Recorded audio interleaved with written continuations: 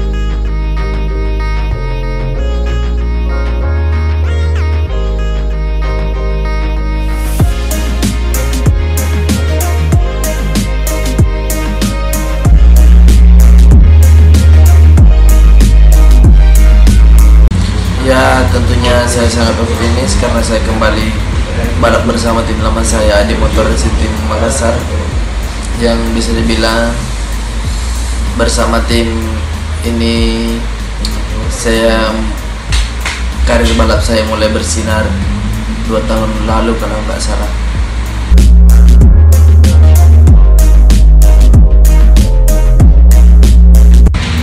Jika tidak menjadi pembalap, saya akan memilih menjadi pemain bulu tangkis.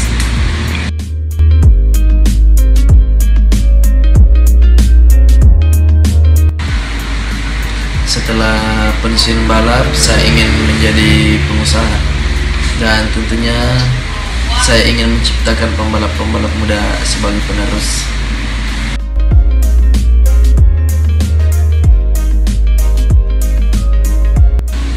hal yang tidak paling saya sukai cuma perjalanan pergi balap lewat darat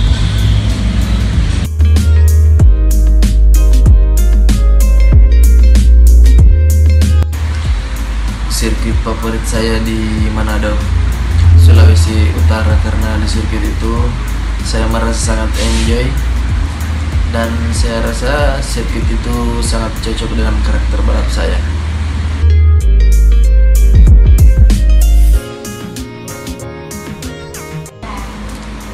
Lawan terberat sampai sekarang saya belum tahu siapa lawan terberat saya. Sejauh ini mungkin masih diri saya sendiri.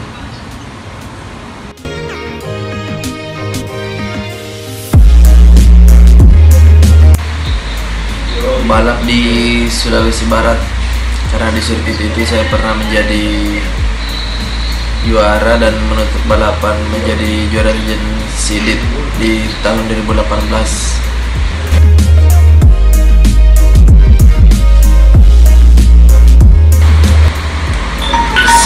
banyak beraktivitas di rumah menjaga kesehatan dan latihan fisik.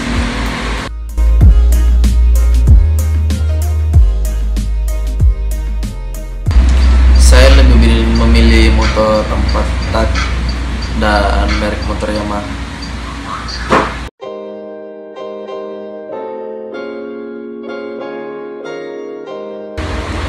Saya pilih motor kencang tapi kecil. Kalau bisa sih motor kencang motor mahal